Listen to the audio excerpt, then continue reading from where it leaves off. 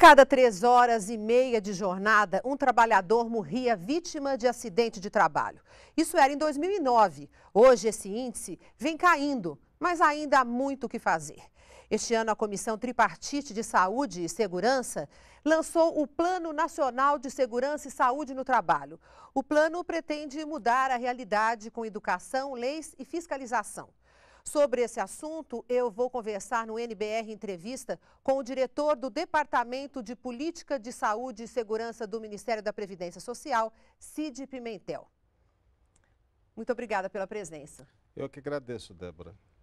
O que, é que vai mudar na vida, na situação do trabalhador brasileiro com esse plano nacional? Nós esperamos que muito.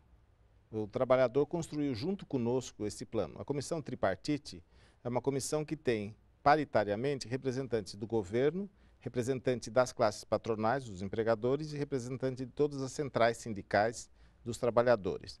Nós construímos a Política Nacional de Saúde e Segurança no Trabalho, que foi lançada o ano passado ainda pela, pela Casa Civil, pela Presidência da República, e agora nós trabalhamos o programa, o Plano Nacional ou seja, as ações através de oito objetivos, de oito macroestratégias, como a gente chama. Parece muito complicado, mas é simples. Nós estamos querendo um ambiente saudável, qualidade de vida, segurança e principalmente a redução das mortes. O que é considerado acidente de trabalho? Como o próprio nome indica, Débora, acidente é qualquer fato, feito, fenômeno que interrompe a atividade laborativa, atividade laboral.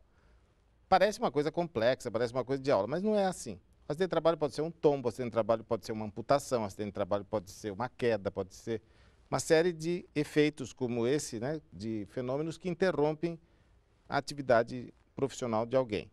O acidente pode ser leve, moderado, grave. É bom que se diferencie, que se discrimine entre acidente e doenças ocupacionais. Por exemplo, Como se você... no caso de ambiente, de trabalhar em ambiente insalubre. Insalubre. Não todo trabalho tem um nível de insalubridade. Existem é. níveis suportáveis.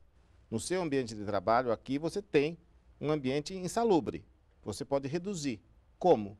Usando equipamentos que não sejam inflamáveis, para diminuir a possibilidade de incêndio, etc.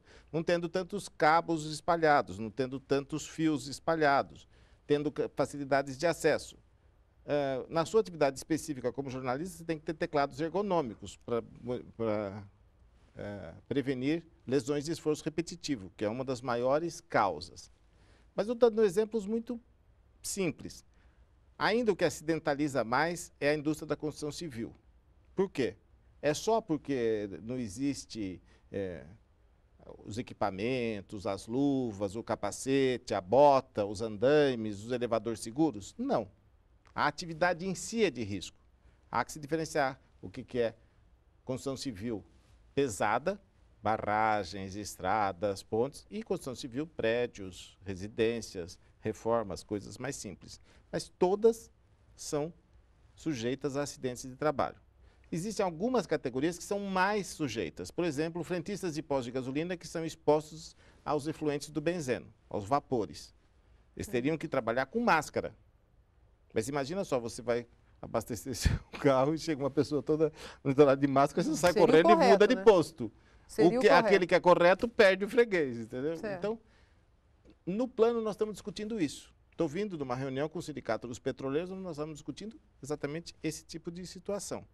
O pagamento de indenizações vai ser um dos pontos que uh, podem ser mudados com o plano? Sim. Mas isso tem, nós temos assim, o Ministério da Previdência especificamente, nós temos um ajuste sucessivo e sequencial dos benefícios advindos dos acidentes de trabalho, né, das indenizações pagas, das aposentadorias especiais, tudo isso é atributo nosso. Do ponto de vista da fiscalização, é o Ministério do Trabalho que age. Do ponto de vista da promoção, da proteção e da recuperação de saúde, é o Ministério da Saúde que age. E, em conjunto, na Comissão Tripartite, nós sentamos os três ministérios, mais a CNI, a CNT, a CNA, a CUT, a CONCLAT, a CONLUTAS, ou seja, os trabalhadores, os empregadores e o governo para termos ajustes comuns de comportamentos. Também temos a participação do Judiciário, do Tribunal Superior do Trabalho, do Ministério Público, especificamente o Ministério Público do Trabalho, Né? E de organizações que são organizações tipo a Organização Mundial da Saúde, tipo a Organização Internacional do Trabalho, certo? Que participam, além de ONGs, OCIPs, todas as, a sociedade civil organizada em torno de, da, da diminuição disso que a gente chama do malus. Nós temos uma coisa que a gente chama o bônus, que é a possibilidade, a, a, a, o pacote de bondades, e o malus, que é os, são os ambientes eh, adversos, os ambientes mais eh, previsíveis de terem acidentes. Quais são as ações para amparar o trabalhador vítima de acidentes de trabalho? Bom, dentro do, do, ponto de vista da Previdência, nós temos não só o acompanhamento, o afastamento, o, os pagamentos da, da, daquilo que é a, o seguro dele, a segurança dele, mas esses trabalhadores são os trabalhadores segurados. Né? A, além do que, nós temos também fornecimento de órteses, fornecimento de próteses, e ele tem no SUS a assistência, a proteção, a, a, recuperação da saúde dele, a assistência. Agora, existe muito o que fazer ainda. Por exemplo, na informalidade. Como você faz com os camelôs? Como você faz com os microempresários? Como você faz com as domésticas? Como você faz com os trabalhadores rurais? Então, todo esse universo está sendo contemplado também pelo Plano Nacional eh, que nós estamos discutindo aqui. Porque cada setor exige uma certa demanda, né? Muita demanda. Uma preocupação Por exemplo, diferente. É diferente. Quando eu, quando eu falo domésticas, né, as pessoas falam que tipo de agravos mais comuns? Ué, depende. Uma doméstica, por exemplo, ela, quando a gente pesquisa isso, nós trabalhamos com informações do tipo: essa doméstica ela trabalha numa casa com seis, oito pessoas, três, dois.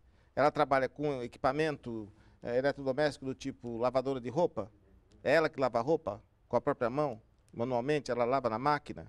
Ela tem proteção básica, ventais, uniformes, ela tem é, botas, ela vai mexer com é, adstringentes, ela vai mexer com soda, vai mexer com ácidos, vai, me vai mexer com é, área de fácil queimadura, como fogão, frituras.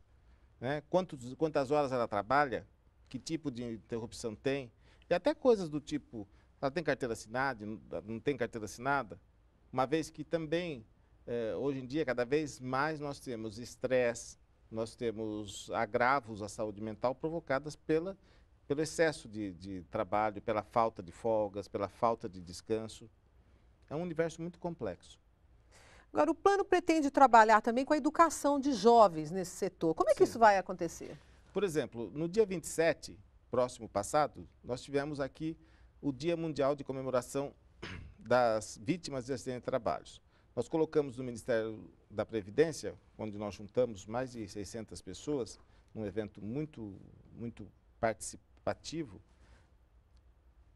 nós acendemos as velas, fizemos uma cerimônia chamada Cerimônia da Vela, onde nós acendemos uh, o ministro do Trabalho, o representante dos outros ministérios, o representante dos trabalhadores, as velas em homenagem aos 2.796 mortos do ano passado. Pusemos o nome deles em lista, correndo o tempo todo nos telões. E nós fizemos um, um tipo de juramento formal, acompanhado de silêncio, acompanhado de uma série de, de pontuações, na frente de todos os alunos do SESI que ganharam o prêmio escrevendo músicas, escrevendo redações e escrevendo, é, é, pintando, fazendo é, artes plásticas, fazendo representações iconográficas sobre acidentes de trabalho. Então, foi magnífico, foi muito emocionante você ver que, por exemplo, um aluno do interior da Bahia compõe um rap falando sobre acidente de trabalho e que esse que ganhou o primeiro prêmio nacional, que eu tive a honra de entregar, chamava Se Liga, que era sobre os cuidados com relação a ligações e a eletricitários. Eletricitários são uma função muito, muito, muito eh, prejudicada, não só pelos efeitos dos choques e pelas, pelos cabos e fios, como nós estávamos conversando, mas também pelas radiações ionizantes advindas da eletricidade. Quais são os ambientes de trabalho mais perigosos para os trabalhadores e como esse plano pode mudar essa situação, reverter isso? Paradoxalmente, os universos mais perigosos são os que têm maior, maiores cuidados. É, você vê, por exemplo, a petroquímica, que é um setor pesado, as siderúrgicas, que são um setor pesado, as torres de transmissão que são um setor pesado, tem um acompanhamento muito, muito grande das CIPAs, das Comissões Internas de Prevenção de Acidentes, dos brigadistas, de todos os responsáveis, dos médicos de trabalho, dos técnicos de higiene, de higiene e segurança ocupacional. Nós temos também, por exemplo, num, num lugar que acidentaliza muito, nos bancos, né, um, um, tipo de acompanhamento que é um tipo de acompanhamento que a gente chama de é, competente. Mas onde nós temos maiores cuidados são os acidentes de trajeto que estão acontecendo, que é uma coisa muito questionável, muito discutível, né, porque nós temos hoje assim, as, não só os acidentes de trânsito, como os acidentes de percurso muito graves. E a construção civil, como eu, eu te disse, os transportes terrestres, motoristas, né, principalmente os motoristas eh, profissionais, motoristas de coletivos, motoristas de caminhão, motoristas que fazem os percursos. Esses são índices muito grandes, muito fortes e que nós estamos trabalhando fortemente para reduzir. Como a gente trabalha isso? Nós trabalhamos isso primeiro discutindo, nos inteirando, eh, nos conscientizando e depois vendo que tipo de, de interferência a gente pode fazer. Um dos acidentes assim grandes, uma, um recorte grande de acidentes acontece no plantio da cana e na colheita da cana, no corte da cana. No corte da cana existe assim um, nível muito grande, porque as pessoas carregam toneladas de cana cortada, eles ganham por produção.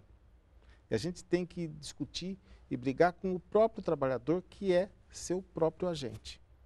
Ele ganha por produção. Então, por mais que a gente. A, a dorsalgia é a segunda, a segunda incidência maior em acidentes. São as dores, dores de coluna, dores de pescoço, dores de vértebras, dores de membros. Né?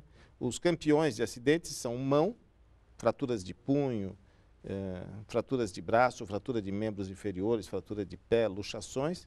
O segundo, dorsalgias. Dorsalgias, de forma geral, são dores nas costas, dores nas articulações, dores nos ombros, por força, por inadequação, por uma série de coisas.